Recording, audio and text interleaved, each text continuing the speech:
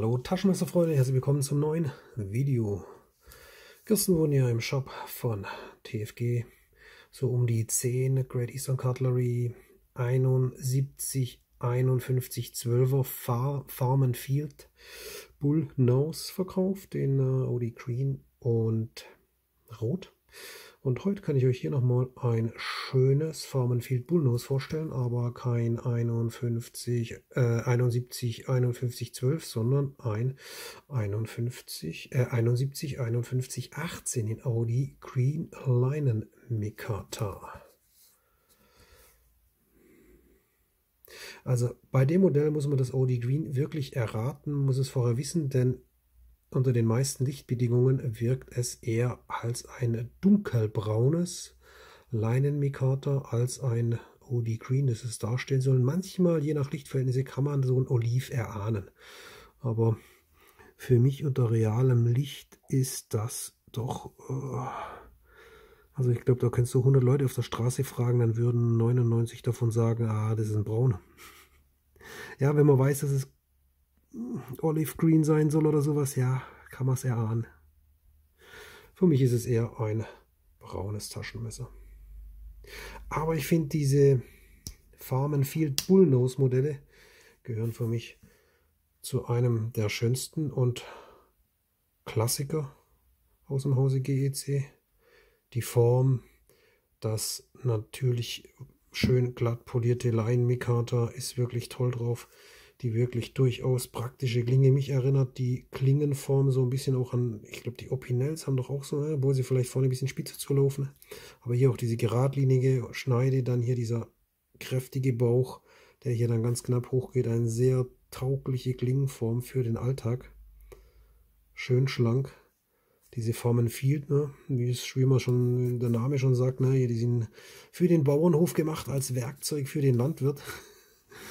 Haben eine kräftige Feder, also da muss man keine Angst haben, dass einem sowas schnell auf die Finger klappt. Das ist schon wirklich, äh, hält bombenfest und was mir auch gefällt, der Griff hat eine gewisse Stärke. Da sind richtig dicke Mikata-Griffschalen drauf. Dadurch hat man doch wirklich kein zu schmales Heft in der Hand, sondern schon ein richtig gutes, kräftiges Taschenmesser. Also mir gefallen diese Modelle hervorragend gut, diese Formen Field. Hat auch einen schönen 90 Grad sauberen Klingenstopp. Ist hier auch sehr gut angebracht, dass wenn man das zumacht, noch äh, Zeit hat, hier durch diese Bremse, sage ich mal, nochmal die Finger aus dem Klingengang zu bekommen, denn die Dinger sind rasiermesserscharf. Also die äh, ja, rasieren wirklich, da poppen die Haare nur so weg. Und ja, darum ist gut, wenn das hier nochmal bremst und du Zeit hast, schön zum Umgreifen, das beim Zuklappen. Ihr seht schon, das zieht hier echt kräftig die Klinge wieder rein. Und hier braucht man auch wirklich die Nagelrille und äh, gesunden Fingernagel. man sollte keine spröden Fingernägel haben, sonst brechen sie dir ab, denn das ist ganz kräftig beim Rausziehen und wieder beim Reinmachen. Also Güdi van Poppel würde diese Feder gefallen. Das ist wirklich, das sind äh, No-CC-Modelle. Ne? Also die sind richtig kräftig und erinnern mich sehr stark an Güdi seine Taschenmesser.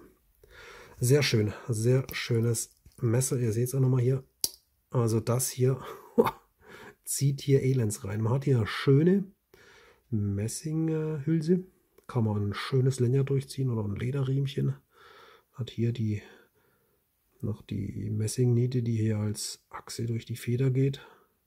Und ein toll runter poliertes, ja, Audi Green Line Mikata. Ich sag mal so ein Brown Brown Linen Mikata, ein braunes Linen Mikata mit ja, einem ganz leichten Olive-Anteil.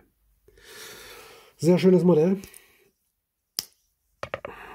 Farm Field haben wir hier noch auf der Klinge und hier GC CAM und ebenfalls hier 71, 51, 18. Ja, sehr schön. Wir machen ein kurzes Schlussbild und dann stecken wir das Messer wieder dahin, wo es zukünftig seinen schönen Platz haben wird nämlich in meinem GC, äh, TFG, EDC, WLT. Da passen die nämlich hier ah, bombig rein. Und dann hast du hier ein richtig geiles EDC-Set mit einem kräftigen Slip Joint EDC von GEC. Ja, die ganzen Abkürzungen, ne? TFG, EDC, WLT mit GEC da drin. Irre. Okay, Freunde. Dann sage ich heute mal, danke fürs Rein zu bewerten, kommentieren. Ciao, bis zum nächsten Mal. Heute ein bisschen anderes Ende. Ne? Steht diesmal leider nicht zum Verkauf, denn das habe ich mir mal ausnahmsweise schon geangelt. Ich meine, wenn man an der Quelle sitzt, muss man das auch einmal ausnutzen, wenn man endlich mal das Modell auf den Tisch bekommt, das man schon ewig lange sucht und haben möchte. Ne? Also Freunde, ist ja hier schon mal sorry, aber wir hatten gestern hier zehn Stück davon online. Äh, da haben noch die einen oder anderen äh, noch zulangen können. Darum habe ich gedacht, hier dieses Modell aus der Secondhand-Kiste, das krall ich mir. Aber keine Sorge, es geht hier weiter. Wir haben noch ein paar schöne GECs für euch am Start und die kommen dann eben auch alle noch in den Shop bei Tools for Chance. Also wer da mal Bock hat, schaut vorbei. Aber äh, Freunde, schreibt nicht an, wo das Messer ist. Wenn, ich, wenn ihr es nicht seht oder findet, dann ist es ganz einfach schon verkauft. Also die Messer sind zwischen ähm, 60 Sekunden und als mal so 15 Minuten online länger sind die als nicht verfügbar, bis die verkauft sind sind halt sehr beliebte, inzwischen auch in Deutschland beliebte Sammlermodelle. Okay, Freunde, das Video ist jetzt ein bisschen länger geworden als geplant. Darum sage ich jetzt nochmal Ciao, bis zum nächsten Video.